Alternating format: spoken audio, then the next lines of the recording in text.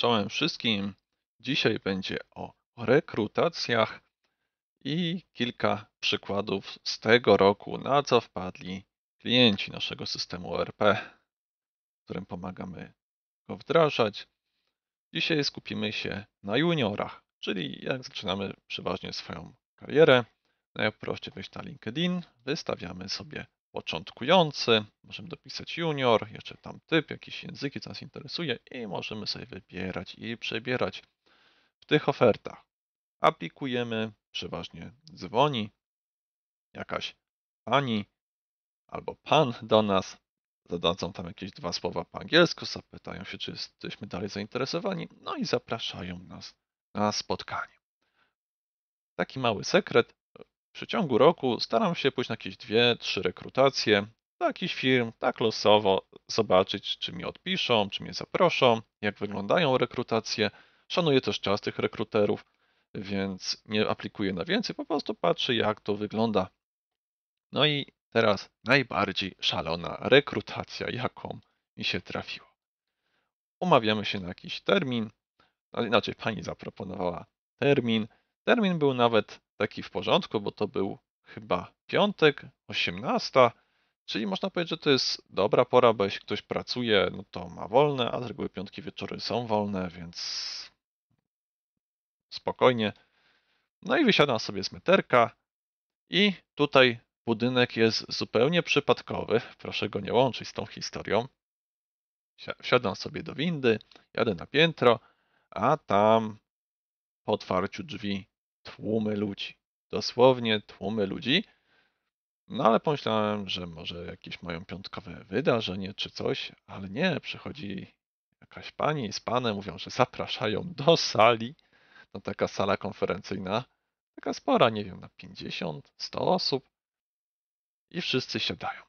No i o co chodzi? Tak, to była rekrutacja. Jak przeważnie taka rekrutacja jest twarzą w twarz, jedna osoba, rekruter, po twój przyszły przełożony albo jakaś osoba techniczna, tutaj pewna firma wpadła na pomysł, że szkoda marnować czasu rekrutera, który często jest zewnętrznym konsultantem, trzeba płacić za godzinę, więc zorganizowali spęd rekruterski.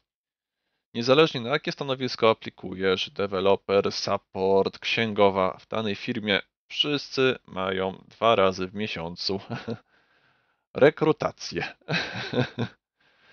No i zaczyna się rekrutacja. Przez pierwsze, nie wiem, pół godziny opowiadali, jaka firma jest wspaniała, czego oni nie robią, nie oferują i jak będziemy z nich zadowoleni. Trochę można się było poczuć jak na sprzedaży garnków albo kołder z wełny australijskich owiec. No, ale ja tam jestem bardziej towarzysko już, już, już, ale dobra. Lecimy dalej. No i teraz e, mniej więcej podzielili ich na, na grupy, bo tutaj do, do dział IT, tutaj dział jakiś tam był jeszcze finansowo, coś ubezpieczeniowy, no jak, jakieś takie, można powiedzieć, że tam były dwie czy trzy główne grupy. No i dostaliśmy wszyscy test. Test do wypełnienia. Akurat ja tam byłem jako aplikacja dla networkowca, więc testy były na juniora. Podpowiem, że to były dla juniora, było tam też bardzo dużo studentów, więc stąd też będą sobie wyszli z takim założeniem, że jak mają z każdym studentem się spotykać danego roku, no to po prostu robią taką masówkę. Jakie były pytania? Pytania były bardzo proste, czyli podać jaki jest adres serweru DNS. To podpowiem, taki najbardziej popularny to jest Google 888. Potem było do czego służy ping. No to ping służy, że po protokole ICMP wysyłamy pakiet, potem on się odbija do nas i sprawdzamy, czy w ogóle dotarł, tak, i, i z jakim czasem e, ten, ten pakiet sobie wędrował. I tam były gotowe odpowiedzi A, B, C, nie? Więc tak to wyglądało. I, no i tam jeszcze było jakieś parę takich prostych pytań, które już nie pamiętam. No i potem każda osoba po kolei podchodziła do biureczka.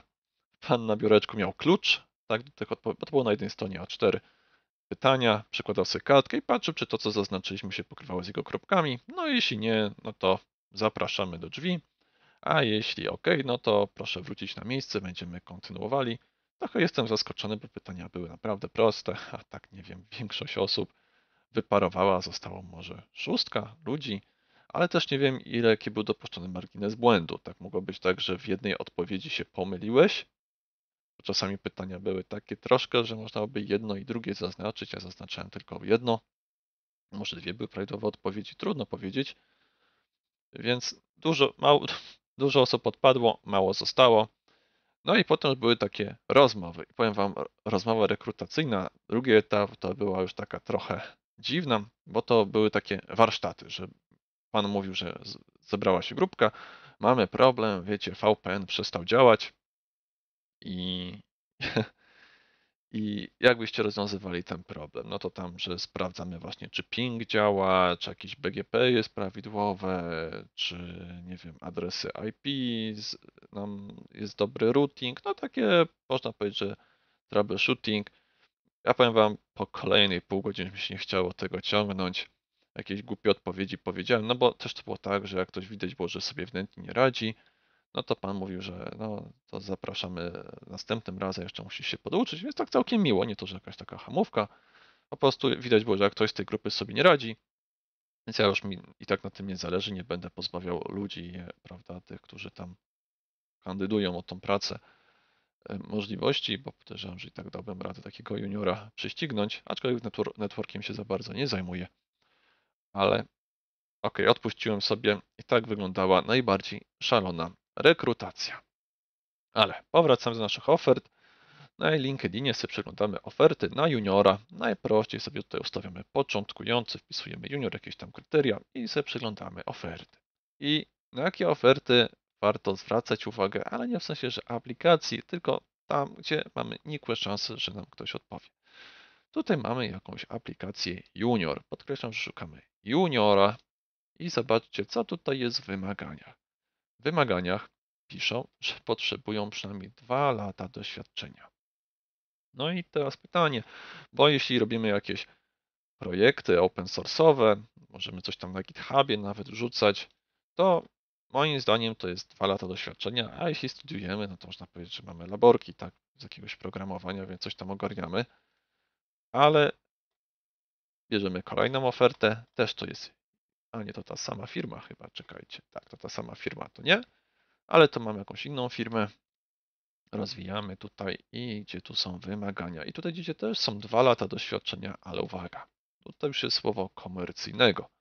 Czyli najpierw musielibyśmy pracować w takiej firmie, żeby załóżmy po open source'ach, żeby zdobyć dwa lata doświadczenia komercyjnego, czyli móc się pochwalić, że na umowę o pracę pracowaliśmy, a dopiero tutaj możemy jako junior zacząć, bo mamy już dwa lata doświadczenia. Czyli zakładając, że w wieku 18 lat zaczynamy studia, mija 5 lat, mamy 23 lata, potem w wieku 23 lat mamy tutaj 2 lata, to już 25, tutaj mamy już 27 lat i teoretycznie dalej jesteśmy juniorem. No troszkę tutaj takie naciąganie, ale to jest nie koniec, bo lecimy dalej. Znowu mamy tutaj junior junior performance. No przy performance to trzeba mieć jakieś tam trochę pojęcie, jak nasz kod odbija się na system, ale zobaczcie, tutaj, żeby zostać juniorem, czyli taka entry position, trzeba mieć już 3-4 lata doświadczenia, więc skąd się tak bierze? Dlaczego takie są wymagania na stanowiska początkowe? Gdzie ci ludzie, którzy są w trakcie studiów albo dopiero je skończyli, tak naprawdę mogą się uczyć tego, czego od nich wymagają pracodawcy. No i teraz Wam powiem taką ciekawostkę, bo akurat no, u nas w firmie potrzebowaliśmy zatrudnić nową osobę i się przyglądałem, jak ten proces wygląda obecnie w HR-ach. Przecież mamy czat GPT. Panie, no to co oni będą pytali menadżera, co jest wymagane na jego stanowisku, co będą pytali tych ludzi w jego przyszłym zespole, co oni robią, nad czym pracują, to można powiedzieć taka pani Halinka z Grażynką. Please write job offer for subdeveloper. I proszę, wszystko ładnie opisane. Ciach, ciach, ciach. Jeszcze sobie trochę to przewiniemy. Niech sobie tutaj skończy nam pisać to ogłoszonko. No i zobaczcie, bardzo ładne ogłoszenie, tylko Ctrl-C, Ctrl-V na LinkedInie. wkleja sobie nazwę, tutaj, że jak wszyscy są liderem rynku ze, ze silnymi naciskiem na profesjonalność usług i talentowanych deweloperów. I takie coś po prostu Ctrl-C, Ctrl-V. Oczywiście tutaj jest minimum ile lat. No to pani wpisze 4, 6, co jej się tam spodoba. I tak lecą ogłoszenia. No i hmm, Nieważne, że ten programista SAPA to nie będzie robił w Ab Abapie? IBAP? Abapie chyba, nie? nie będzie robił żadnych RFC. Nie, on tam załóżmy będzie się tylko podłączał do tego SAPA, albo będzie jakieś pliki generował transakcyjne, które będą do niego wysyłane.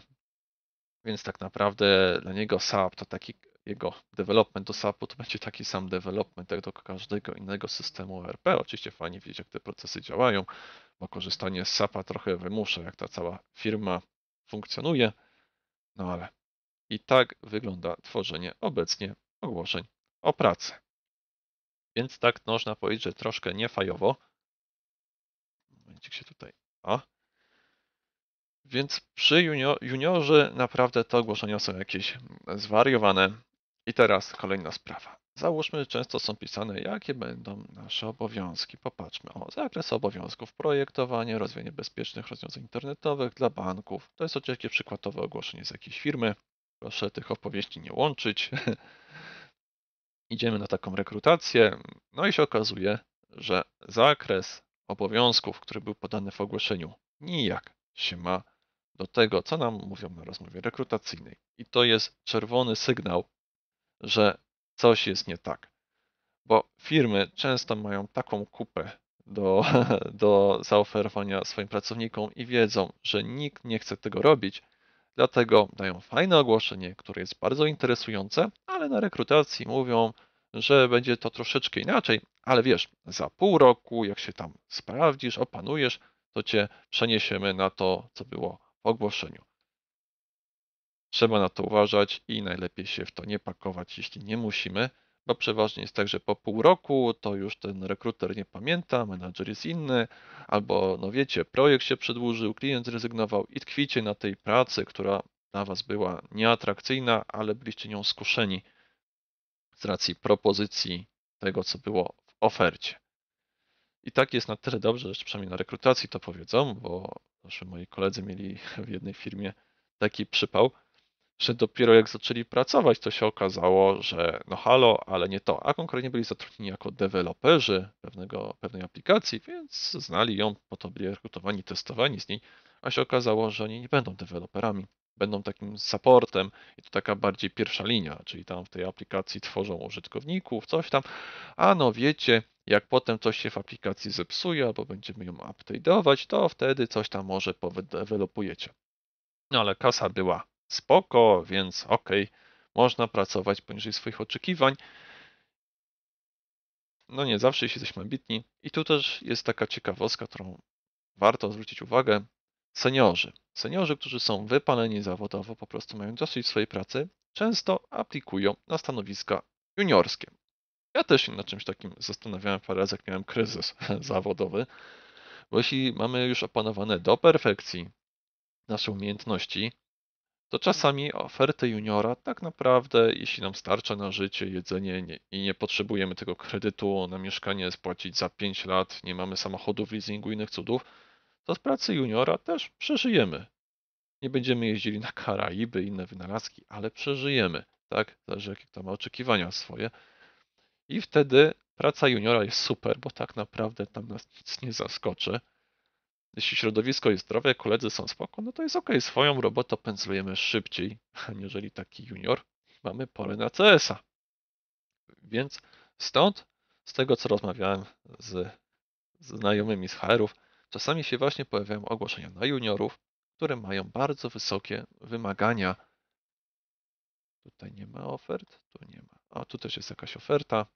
I popatrzcie, tutaj od 3 do 10 lat doświadczenia jako junior. jako junior. No to 10 lat doświadczenia być juniorem, no trochę tak dziwnie, nie? A jak ktoś już jest wypalony liczeniem tych słupków w Excelach, w Power BI'ach, no to wtedy właśnie myślisz, że pójdzie na juniora i tam sobie troszkę odpocznie i coś w tym jest, że firmy czasami szukają takich wypalono, wypalonych zawodowo profesjonalistów, będą, że i tak zrobią swoją robotę, a w międzyczasie już nawet z nudów pomogą innym, czy coś innego wniosą do firmy. Więc takie oferty też są, natomiast o co firmie chodzi, tego nigdy nie wiemy, ale podmiana obowiązków, jak ja to nazywam, że na, na ogłoszeniu jest co innego, na rozmowie jest co innego, a najgorsze jak już w ciągu pracy jest zupełnie co innego, to jest najgorsze, co może nam się e, zdarzyć. E, jak już idziemy na tą rozmowę rekrutacyjną, też warto popatrzeć, jak to biuro wygląda. Przeważnie takie biura w dużych miastach, w centrach, w tak zwanym Mordorze w Warszawie wyglądają tak samo, czy mam jakiś open space po horyzont biurka, czasami nad przegródkami, jak się zlitował management nad pracownikami, żeby im nie hałasowali.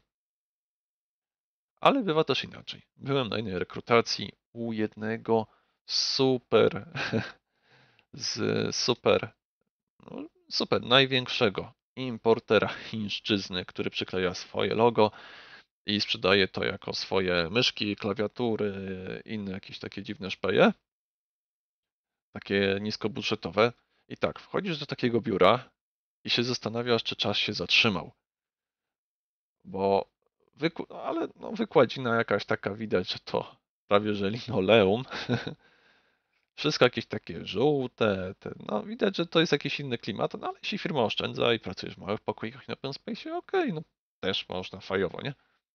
Ale to, co było u mnie czerwoną żarówką, to idąc tam do sali z rekruterem, no to drzwi są potwierane do pokoju. Patrzę, a ludzie pracują na monitorach CRT. Wyobrażacie to sobie? Mamy 2023 rok. Firma, która ma swoje produkty rebrandowane, nie na swoje, ale ma prawie w każdej sieci marketów, Morele, RTV, coś tam, więc na pewno hajsu mają jak lodu i ludzie pracują na monitorach CRT. Prawda, z tych fragmentów rozmowy, słyszałem, to byli graficy, którzy robią jakieś kampanie czy coś, więc może nie wiem, jak się drukuje jakieś ulotki, to lepiej to wygląda na CRT niż na LCD. No ale dla mnie to było słabe. Jeśli w ogóle idziemy do jakiejś firmy, która jest polska, a, ale i jest taka jakaś mniejsza, szukajcie opinii na GoWorku. Ciekawe, czy jak piszemy Januszek, czy coś się nam pokaże, czy są jakieś firmy Januszek. Nie ma firmy Januszek akurat. Ale jeśli idziemy do jakiegoś małego software house'u, no to czytajmy te opinie, bo wiadomo, że opinie piszą pracownicy, którzy są niezadowoleni, czasem jeśli są zwolnieni za swoje niekompetencje, potrafią się mścić, ale jeśli mamy tam przy małej firmie dużo jakichś opinii jeszcze podobnych i to na przestrzeni czasu, no to wtedy należy się zastanowić. Weźmy sobie jakąś, pierwszą, jakąś pierwszą firmę z góry. Otwórzmy, żeby zobaczyć, jak te wyglądają. Czasami też ludzie pytają, bo są na rekrutacji, jaka tam możliwość rozwoju, więc czasami są tu spoko te, te tematy, ale jeśli widzimy, że tam po prostu szambo wybija, to nawet nie warto iść na tą rekrutację.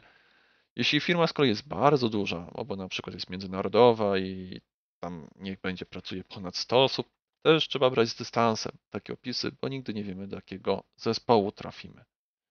Tak naprawdę nie opuszczamy pracy, nie opuszczamy firmy, tylko opuszczamy menadżera. Jeśli menadżer jest spoko i choć mu management z góry sypie jakiś szajs, a on potrafi jakoś to ładnie nam opakować w papierek i faktycznie szanuje naszą pracę i faktycznie przechodzimy do niej chętnie i ktoś nas wspiera, no to może firma nie jest najlepsza, ale przynajmniej my jako zespół staramy się pracować ze sobą w porządku.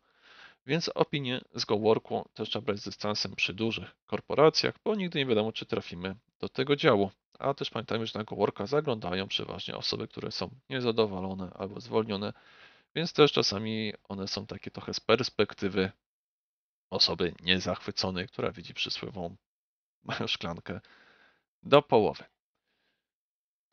Więc wyposażenie warto i firmy też o tym dobrze wiedzą, więc na przykład na jednej rekrutacji ta pani mnie oprowadziła po całym biurze. Pokazała kącik do chillowania, pokazała ekspres do kawy, zapytała się, czy może chce się coś napić.